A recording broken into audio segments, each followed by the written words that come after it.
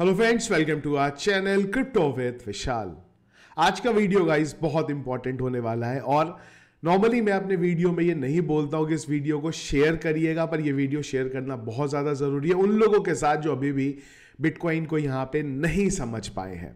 Report है basically कुछ जिसके बारे में डिस्कस करेंगे, इसके अलावा कुछ और इंपॉर्टेंट अपडेट्स हैं। जिनको हम लोग डिस्कस करेंगे बिटकॉइन के ईटीएफ के वॉल्यूम के बारे में बिटकॉइन के चार्ट के बारे में मार्केट में क्या चल रहा है, सबके बारे में डिस्कस करेंगे। बहुत क्विकली मैं चीज़ों को लेता हूँ, फिर जो इंपॉर्टेंट चीज़ है उसको डिस्कस करेंगे। Market cap point one percent up है वॉल्यूम के बारे में बात करेंगे nine point four percent down है। इनफ्लो का कोई डेटा रात से अब तक नहीं आया कल के दिन में टोटल चार इनफ्लो के डेटा हमें देखने को मिले थे। Fear and greed index extreme greed में है 76 में। पिछले एक घंटे के सेंटिमेंट्स देखेंगे। सेल की तरफ़ है और अगर हीट में आपकी बात करें BTC point eight two percent down और इथीरियम पॉइंट सिक्स परसेंट अब यहाँ पे चल रहा है। बिटकॉइन के बारे में गाइस बात करें तो जब भी वीडियो बना रहा हूँ मैं बिटकॉइन का प्राइस है 51,200 और जो हमने एक रेंज ड्रॉ करी थी फ़िलहाल बिटकॉइन उसी रेंज के अंदर है। हम लोगों ने एक एरिया बनाया था ट्रायंगल बनाया था जिस ट्रायंगल को बिटकॉइन ने ब्रेक करा और इसके बाद वो जो ट्रायंगल का एरिया था वही बिटकॉइन का रेजिस्टेंस फ़िलहाल के लिए यहाँ पे काम करता है। मैंने आपको कल के वीडियो में बताया था fifty thousand fifty seven five zero seven six nine या फिर आप बोल सकते हैं फिफ्टी थाउज़ेंड सेवन हंड्रेड का लेवल हमारे पास सपोर्ट के लिए और जो सबसे इंपॉर्टेंट एरिया है जो देखना है वो है forty eight thousand six hundred का। अगर वो ब्रेक होता है, तब हम बात करेंगे क्रैश आ रहा है जब तक वो नहीं होता। छोटा मोटा यहाँ पे जो करेक्शन है, वही हमें फ़िलहाल के लिए देखने को यहाँ पे मिल रहा है। वॉल्यूम के बारे में बात करें तो कल का दिन बहुत दिनों बाद ऐसा हुआ है कि हमें एक नेगेटिव इन्फो यहाँ पे देखने को मिला है, क्योंकि ग्रे स्केल की जो सेलिंग थी वो ज़्यादा हुई है और बाइंग यहाँ पे कम हुई है। स्पेसिफिकली फिडेलिटी की तरफ़ से कुछ बाइंग देखने को नहीं मिली है। ब्लैक रॉक की तरफ़ से भी बहुत कम बाइंग देखने को मिली थी। और अगर आप मोटा मोटा यहाँ पे देखते हैं तो 17 दिन बाद ऐसा हुआ है कि हमारे पास एक नेगेटिव इनफ्लो का डेटा देखने को मिला है। Last time twenty fifth twenty fifth January को हम एक नेगेटिव इनफ्लो का डेटा देखने को मिला था। एज ऑफ़ नाउ अगर बात करें तो ब्लैक रॉक के पास one lakh twenty four thousand five thirty five BTC और फेडरिटी के पास 87,557 बीटीसी जो है यहाँ पे पड़े हुए हैं। अब आ जाते हैं इंपॉर्टेंट चीज़ के ऊपर। कल मैंने एक ट्वीट किया था, यहाँ पे ट्वीट का रिप्लाई किया था तो जो यूरोपियन सेंट्रल बैंक है, उनका यह बोलना है कि Bitcoin has failed to become a global decentralize digital currency साथ ही इन्होंने यह भी बोला है कि the recent approval of an ETF doesn't change the fact that Bitcoin is costly slow and ये पता नहीं क्या वर्ड लिखा है इनकन्वीनियंट अभी इनकन्वीनियंट को समझने की कोशिश करेंगे।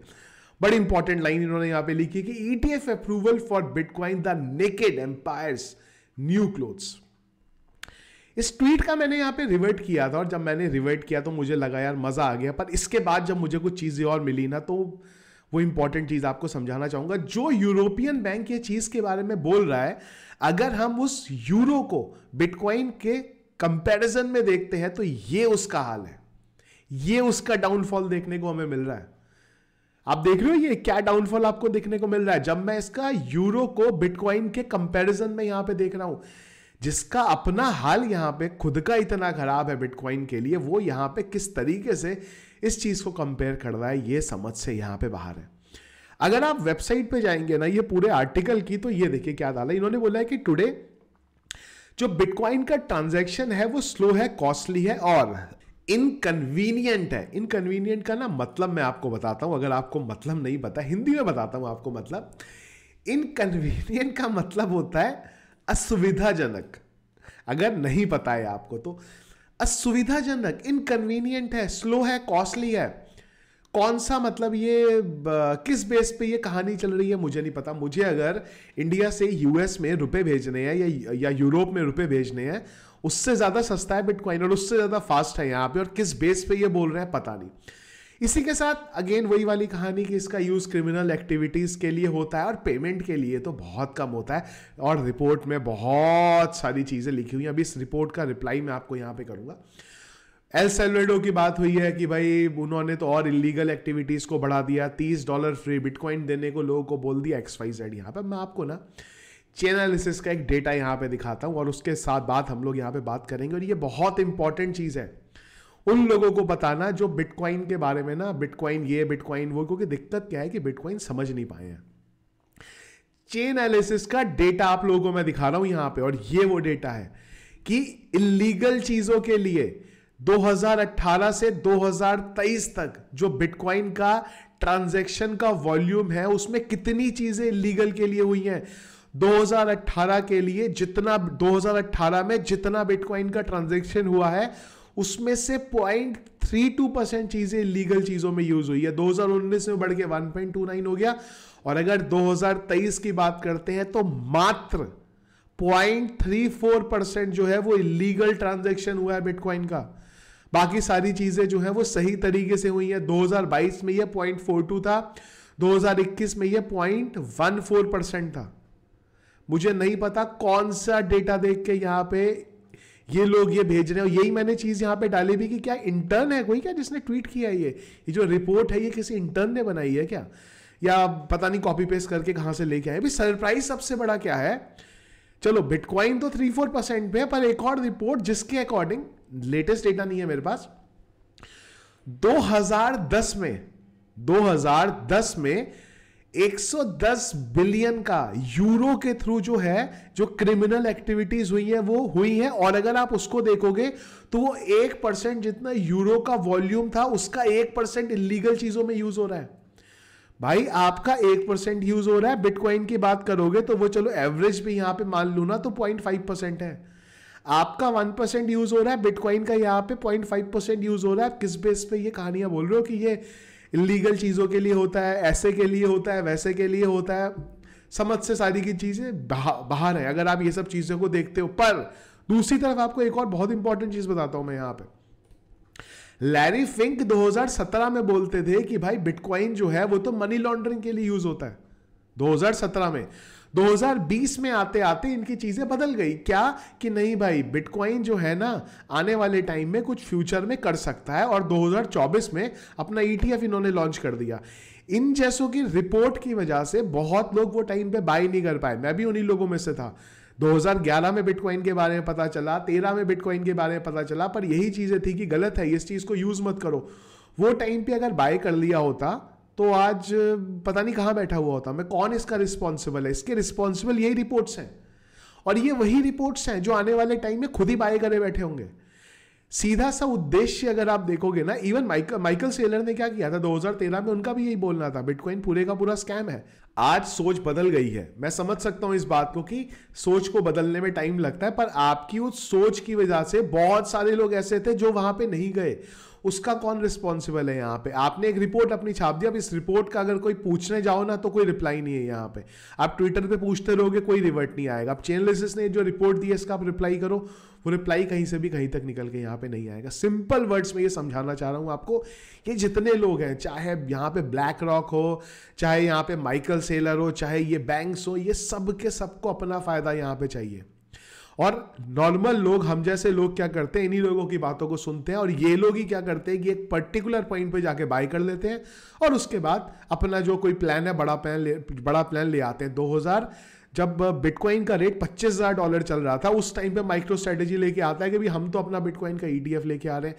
क्या रातों रात आपको पता चल गया ईटीएफ e लेके आ रहे हो? भाई, साल भर की तो प्लानिंग करी होगी ईटीएफ e लेके आने वाले हो। बहुत यूएस गवर्नमेंट के साथ पहले से भी बात करी होगी। अपने बड़े बड़े इन्वेस्टर्स के साथ भी बात करी होगी। आपने रिसर्च भी करी होगी। अगर इतनी बड़ी चीज़ कर दे तो वो टाइम पे क्यों नहीं बोला? क्यों? क्योंकि वो टाइम पे डाउन था। वो टाइम पे हमें सस्ते में लेना था।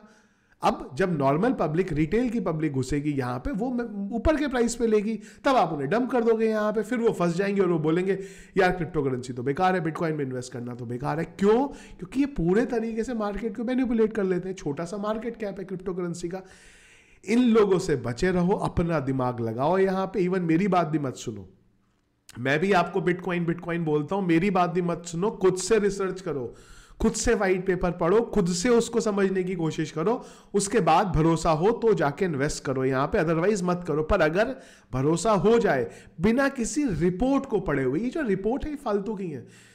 अगर सम पढ़ोगे ना ये रिपोर्ट को बैठ के, मैंने पढ़ा नहीं क्योंकि मुझे लगा इस इस सेक्शन के नीचे जाने का मतलब है अपना टाइम बर्बाद करना है यहाँ पे। तो इसलिए मैंने इस रिपोर्ट को नहीं पढ़ा, पर बिटकॉइन का व्हाइट पेपर क्या बिटकॉइन करना चाह रहे उसको पढ़ो।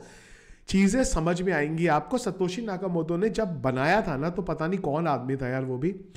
किस सोच के साथ उसने इतनी बड़ी चीज़ें उस टाइम पे कर दी, जो आज प्रॉब्लम आ रही है हमारे सामने, वो धीरे धीरे उन्होंने वही टाइम पे उसको सोच के रिजॉल्व करने की कोशिश करी थी। तो उसको समझो रिपोर्ट्स को छोड़ दो यहाँ पे। इवन मेरे वीडियो भी देखना छोड़ दो, मेरा भी समझना छोड़ दो, खुद से समझो और उसके बाद लगे तो इन्वेस्ट करो। मैं फिर से बात खाली यहाँ पे बिटकॉइन की करता हूँ ऑल्ट कॉइन्स की यहाँ पे नहीं कर करता आगे चलते हैं थोड़ा सा अब यहाँ पे। ब्लैक बालाजी ने एक बड़ा इंटरेस्टिंग सा ट्वीट किया यहाँ पे मैंने टेलीग्राम पे भी शेयर किया था।